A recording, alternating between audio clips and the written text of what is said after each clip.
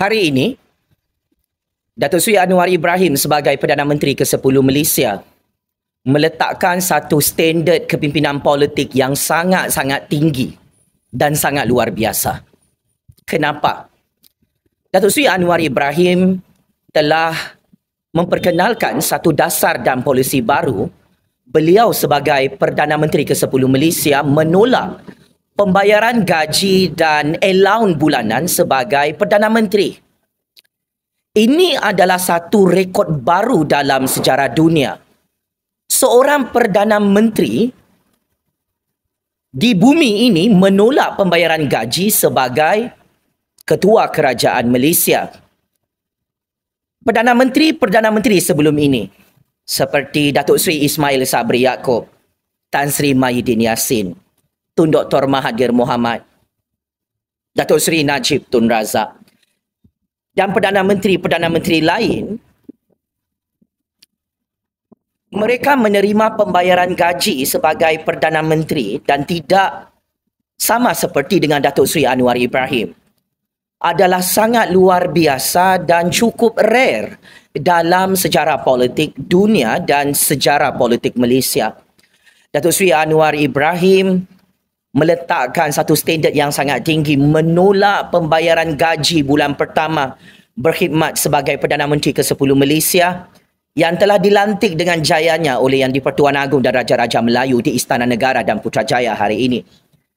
Saya sebagai rakyat cukup-cukup kagum dan cukup-cukup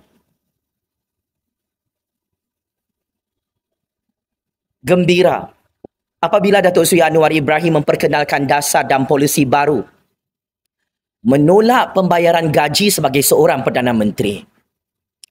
Maka ini secara politik perbandingan. Perdana Menteri, Perdana Menteri sebelum ini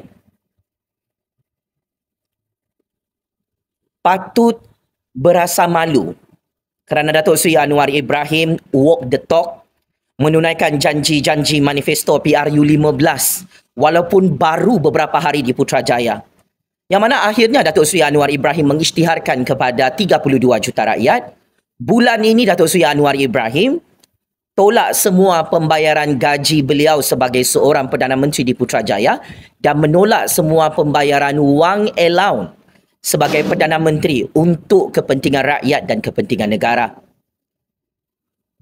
kesan dan implikasi besar daripada dasar Datuk Seri Anwar Ibrahim yang menolak untuk dibayar gajinya sebagai seorang Perdana Menteri telah mengembalikan keyakinan 32 juta rakyat kepada kerajaan Datuk Seri Anwar Ibrahim yang dianggap sebagai kerajaan pro rakyat yang benar-benar telus, adil dan saksama untuk tidak menerima pembayaran gaji sebagai seorang Perdana Menteri. Ini juga membuktikan keikhlasan dan kejujuran legasi politik Datuk Seri Anwar Ibrahim yang memperjuangkan reformasi dalam dasar dan polisi awam kerajaan Malaysia. Yang mana Datuk Seri Anwar Ibrahim menunjukkan mesej kepada seluruh dunia dia adalah satu-satunya Perdana Menteri terbaik dunia yang tidak mahu dibayar gaji sebagai seorang Perdana Menteri yang sah di Putrajaya. Selain itu, sebentar tadi Datuk Seri Anwar Ibrahim mengisytiharkan dan mengumumkan satu lagi dasar dan polisi baru. Datuk Seri Anwar Ibrahim memberi ucapan kepada penjawat-penjawat awam kerajaan Malaysia di Putrajaya hari ini menegaskan kerajaan Datuk Seri Anwar Ibrahim tidak akan melaksanakan dasar projek tender tertutup dan dasar pemberian projek direct nego. Datuk Seri Anwar Ibrahim telah mengisytiharkan sebentar tadi mahu melaksanakan dasar-dasar pemberian konsesi projek berdasarkan tender terbuka bagi membasmi dan mengelakkan jenayah rasuah di Putrajaya.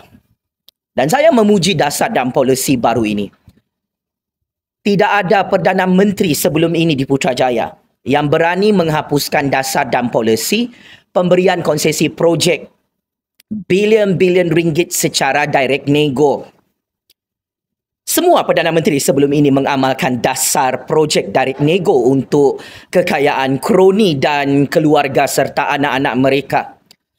Tetapi hari ini Datuk Seri Anwar Ibrahim dipuji lagi oleh 32 juta rakyat kerana menghapuskan dasar pemberian konsesi projek direct nego pemberian projek secara tertutup secara pintu belakang di Putrajaya demi memastikan projek-projek rakyat dan projek kerajaan tidak lagi dirompak oleh mana-mana pihak dalam negara Malaysia. Maka saya Jufazli Syamat ingin menyatakan sokongan penuh terhadap dasar dan polisi Kerajaan Perdana Menteri ke-10 Malaysia Datuk Seri Anwar Ibrahim yang cukup hebat yang cukup luar biasa hari ini menolak pembayaran gaji sebagai Perdana Menteri dan menghapuskan dasar pemberian konsesi projek secara rasuah secara direct nego bagi memastikan perkhidmatan awam kerajaan Malaysia bertaraf dunia bagi memastikan reformasi kerajaan Malaysia di Putrajaya dapat dijayakan bersama penjawat-penjawat awam kerajaan Malaysia. Apapun yang di Pertuan Agong dan Raja-Raja Melayu memilih dan melantik seorang Perdana Menteri yang benar-benar jujur, amanah dan mempunyai standard bertaraf dunia. Ini kali pertama yang di Pertuan Agong dan Raja-Raja Melayu berjaya melantik seorang Perdana Menteri ke-10 Malaysia bernama Datuk Seri Anwar Ibrahim yang tidak mahu dibayar gajinya sebagai Perdana Menteri di Putrajaya. Ini adalah keputusan yang sangat tepat yang di Pertuan Agong Darah dan Darjah Raja Melayu melantik Datuk Seri Anwar Ibrahim sebagai Perdana Menteri ke-10 Malaysia untuk menghapuskan pemberian konsesi projek secara rasuah secara direct nego di Putrajaya. Daulat tuanku yang di Pertuan Agong, daulat tuanku Raja-Raja Melayu.